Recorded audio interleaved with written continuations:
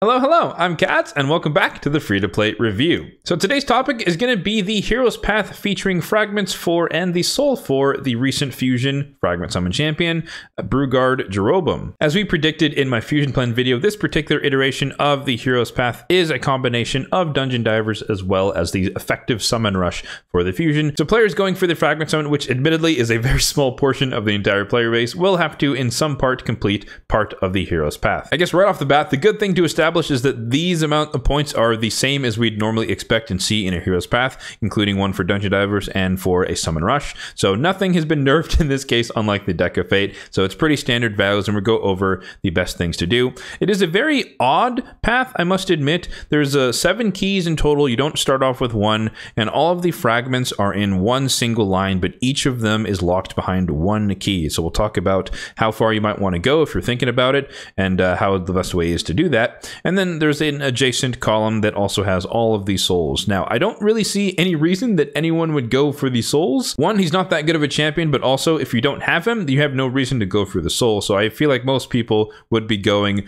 for the fragments before they would be going for the soul. Now, before we get to the exact path, I just want to point out exactly where all the keys are. So they're kind of organized once again into columns. Everything's in columns here. We have one key here, one here, one here, and those are individual uh, columns that you can pursue. And then here near the bottom, the furthest most left column also has two extra keys, and then the furthest most right columns remerge down here to also give you more two uh, two more keys. So two two and 111 gives you a grand total of 7. So the way I decided to break down this path is starting with the fragments and then working our way through the souls. And if you were getting the minimum amount of fragments required from this hero's path, you would need to get 10, assuming you did everything else, you maxed out every other event or tournament in the game. However, if you were skipping some of the earlier events, then you'd have to go a little bit further and further towards the 20 uh, fragments that's up for grabs. But again, we're starting off with the 10 fragments. So starting things off, you can basically pick your poison, come down the left hand or the right hand side, but you will need two keys in order to get the first 10 fragments, and that will cost you a grand total of 28,500 points.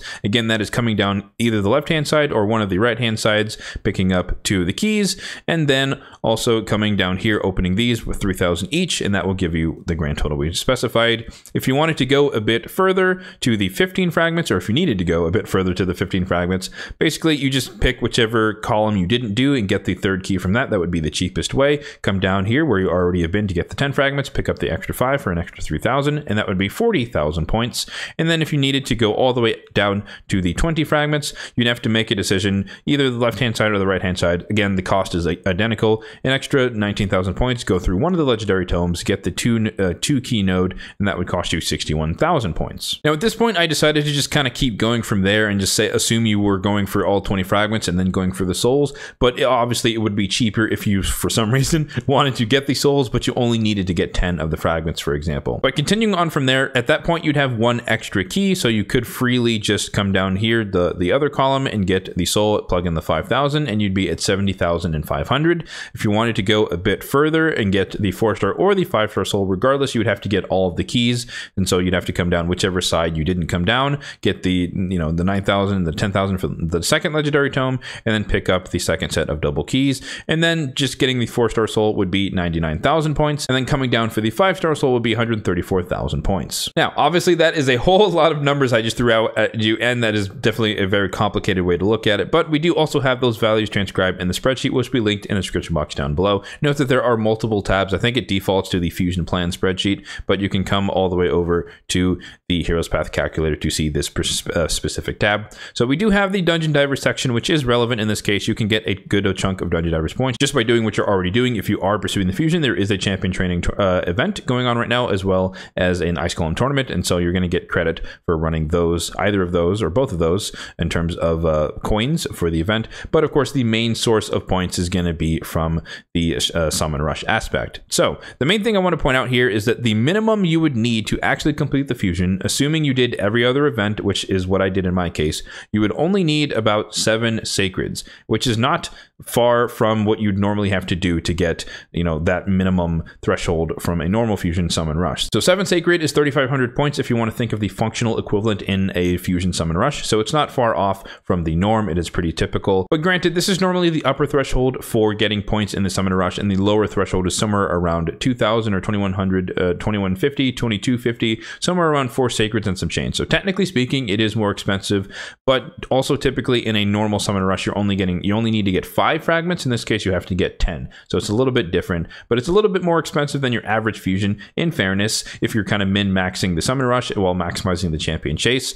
but nonetheless, it's not out of the realm of possibilities for, what you would normally have to invest in to complete any uh, uh, run-of-the-mill Fusion. If you wanted to go beyond that, you can see for yourself all the values here. It gets worse and worse and worse, obviously, as you try to get more and more points, but I honestly don't think that anyone's really going to be in that realm. Again, 80% of the player base, at least from polls that I've seen, aren't even doing the Fusion because he's just not that great of a champion, and I agree with that. I happen to be doing the Fusion because I do every Fusion, and all I need to do is get the minimum amount of points. That's just how I set up my uh, progress for the uh, for the Fusion, and so I'm not really worrying about these upper values either. It's not really that good of a value unless you really just feel like pulling for the sake of pulling because of the progressive chance going on right now as well. So my plan is essentially just to do exactly what I already said, which is focus on champion training and Ice Golem and do as much of that as possible before Sunday, just the last day, just to maximize the amount of points I can get from both from the Dungeon Divers aspect, and then I'll switch over to pulling shards. As it stands right now, you can see that I have 4,400 points and a Sacred is worth 4,500. So effectively, I will have one less Sacred to pull. So for me, it's going to be six Sacreds maximum that I'd have to pull to get this completed. I highly doubt I'm going to work my way through Divers all the way up to 9,000 points, but that would be stellar because then I would also be able to, or I'd be able to save an extra Sacred, but I'm not banking on that. We'll have to see when Sunday comes around. But definitely I'm able to save at least one Sacred, so it's only going to cost me six Sacreds. And then just for context here, Champion Training event going on for two days. I had a massive stockpile of energy waiting to go, as well as the energy in the, uh, the clan shop. And you can see day one, I've already done 8,000 points, which is pretty stellar. So only a little bit to go, 3,000 on that one. And then for Ice Golem, the tournament, I believe I'm at like a thousand and some change. So I'm going to be focusing on that a little bit more so today or tonight after reset. But uh, the point being that there's still a decent amount, but not a ton of champion training and Ice Golem to do. And so I, again, I don't anticipate I can get all the way out to 9,000. So most likely my plan is just going to be to do what I can with these two tournaments and tournaments and event, and then just pull six sacreds and call it a day. In terms of my formal recommendation for you guys, if you are doing the fusion, then I recommend doing something similar. Focus on champion training and ice golem to get as many divers points as you can, and then fill as much as you need with sacred shards if you want to pull that. You could also pull primals, you could pull voids. There are a decent amount of points. Um, you can check out how much that would be in the spreadsheet, of course. But I think everyone's default typically is going to be sacred shards. However, for the majority of the player base that's skipping the fusion, then this event is completely irrelevant. It's just like any other summon rush that you would just not participate in. So you can just skip it, and who cares what the milestones are? It doesn't really matter. You don't have to do anything. And obviously, a lot of people were, you know, were saving their shards for Freya and whatnot. And obviously, that would turn out to be soul stones instead. So this is certainly not the event that you want to spend your shards on, just because it's in pursuit of the fusion that you're probably skipping. And so you can just skip it and keep saving for something better in the future. I don't know. I feel kind of feel like it's a win-win overall. But those are just my thoughts. Let me know in the comment section down below what your plan is for this particular iteration of the Hero's Path. Again, I anticipate that most people are just going to be skipping it because there's no reason to do anything, but maybe some people are just looking at the progressive chance champions and saying, hey, maybe I'm close to Mercy, might be worth the risk, or I want to get closer to Mercy because there might be a Pogo event. There happened to be a random uh, ancient Pogo the other day just for one day only, so maybe there's a sacred one coming up. Who knows? That's going to do it for the free-to-play review of Jeroboam's Hero's Path. And as always, if you found this video helpful, then be sure to hit that like button down below. It really does help out the channel. And feel free to subscribe to the channel if you are enjoying the content for more content just like this one